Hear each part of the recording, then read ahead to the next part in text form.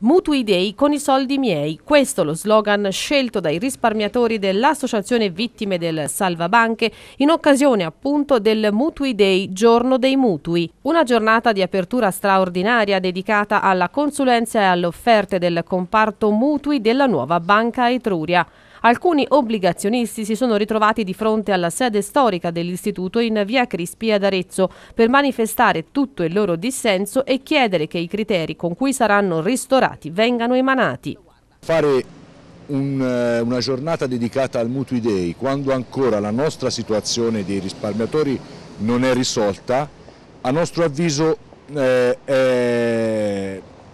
è un gesto che ci offende perché allora poteva aspettare qualche un po' di tempo, ridare, perlomeno ristorare chi,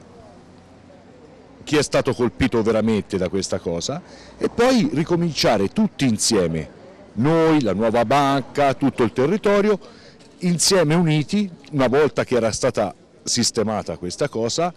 e ripartire tutti insieme uniti e rifare rinascere la nuova banca. Invece così niente, noi ci stanno proprio snobbando, danno i mutui, fanno le offerte eh, quando c'è gente che ha perso tutto e ancora no, e non ha riavuto niente. Infatti noi abbiamo coniato questo, questo slogan Mutui Dei con i soldi miei. E tra le tante storie da raccontare anche quella di una signora che ha perso tutti i risparmi dei propri genitori e poi è andata a chiedere un mutuo ipotecario vitalizio sentendosi dire che è un prodotto che non è trattato. La storia di miei genitori che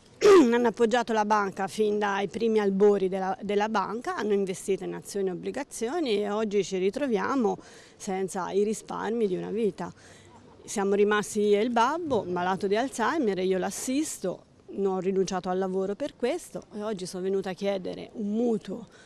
esattamente un prestito ipotecario vitalizio e mi hanno detto che loro non hanno aderito a questo tipo di mutuo che è stato stabilito dal governo a dicembre, l'ultima emanazione di tutti i particolari e tutto quanto e quindi io non ho altro modo di accedere a mutui o prestiti se non questo che impegnava la casa e quindi non so come fare ora.